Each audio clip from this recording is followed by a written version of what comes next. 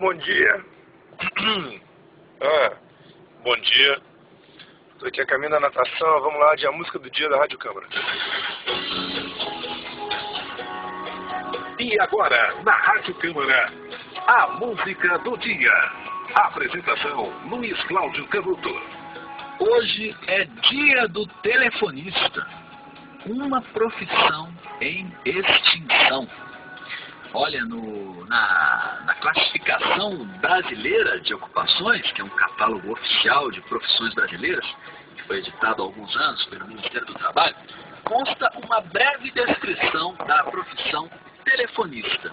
A maioria dessas descrições está muito obsoleta nos dias atuais. Olha só, fazer telefonemas, a gente sabe, é tarefa hoje exercida por uma, por uma categoria muito mais ampla, a de secretárias e apesar de existir uma profissão muito parecida com a de telefonista, a de atendente de telemarketing ou atendente de 0800, e também a de recepcionista, a função pouco se parece com as tarefas originais de uma telefonista. Afinal, uma coisa é você atender e receber uma reclamação pelo telefone, orientar uma solução e transferir um telefonema.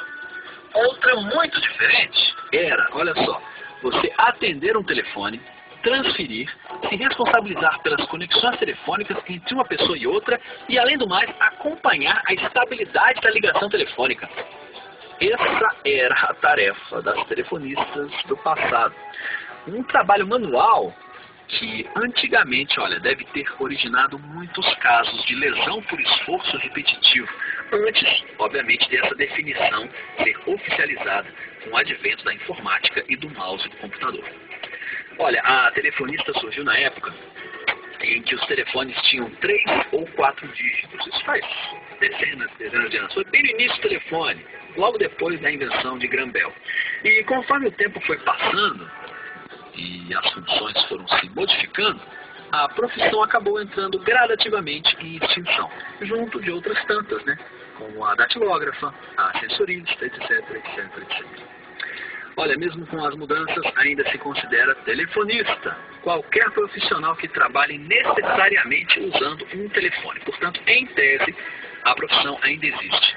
Desta forma, 75% dos atuais profissionais que trabalham em hotéis, hospitais, clínicas, comércio, escritórios de empresa são considerados telefonistas. O restante trabalha nas companhias telefônicas. E com a evolução da automação tecnológica, o número de profissionais, claro, deve diminuir mais e mais. A música de hoje, Dia da Telefonista e também do Telefonista, se chama Telephone Call.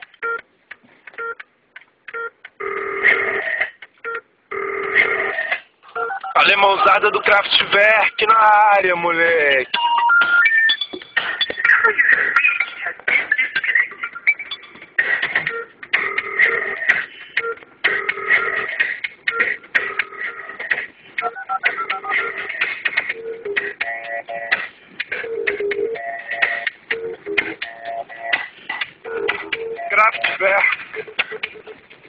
Os alemães, que é telephone call, que é o quê? É uma chamada telefônica musicada. Hum, não, vai saber disso.